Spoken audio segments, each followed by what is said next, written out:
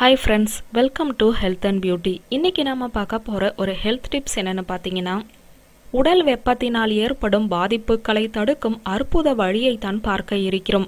ஏனென்றால் இனிமேல் வெப்பக்காலம்.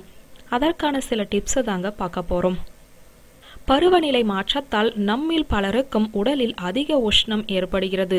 குழந்தை இல்லாதவர்கள் உஷ்ண உடம்பால் பாதிக்கப்பட்டவர்கள் இது முக்கியமாக அதிக நேரம் வெளியில் பயணங்கள் மேற்கொள்வோருக்கும் அதிக நேரம் நாற்காலி சோஃபா மீது உட்கார்ந்திருப்பதாலும் ஏற்படுகிறது. இதனால் நம் தலைமுடி முதல் கால் வரை உள்ள அனைத்தும் ஆரோக்கியத்தை இழக்கிறது.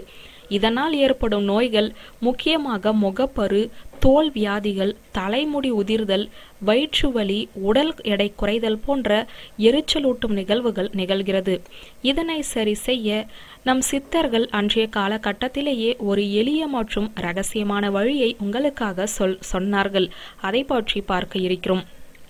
நல்லெண்ணெயை ஒரு குழி கரண்டியில் தேவையான அளவு எடுத்துக்கொண்டு அதனை மிதமான சூட்டில் சூடுபடுத்தவும்.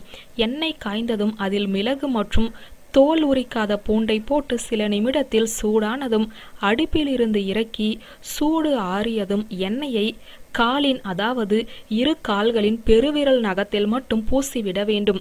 இரண்டு நிமிடங்கள் கழித்து உடனே காலை கழுவிவிட வேண்டும். இதனை செய்யும் போதே உங்கள் உடம்பு குளிர்ச்சி அடைவதை உணர முடியும். இரண்டு நிமிடத்திற்கு மேல் இதனை விரலில் வைத்திருக்க கூடாது. சளி ஜுரம் உள்ளவர்கள் இதனை முயற்சி செய்ய வேண்டாம். மிகுந்த மன அழுத்தம் உஷ்ண உடம்பு உள்ளவர்கள் இதனை கட்டாயம் செய்து பயன்பெறுங்கள். அந்த காலத்தில் சித்தர்கள் குழந்தை இல்லாத ஆண்கள் தங்களிடம் குழந்தை வேண்டும் என்று வந்தால் இந்த மருத்துவ முறையை தான் சொன்னார்களாம். ஃபியூவர்ஸ் இந்த வீடியோ உங்களுக்கு பிடித்திருந்த லைக் கமெண்ட் ஷேர் பண்ணுங்க. நன்றி.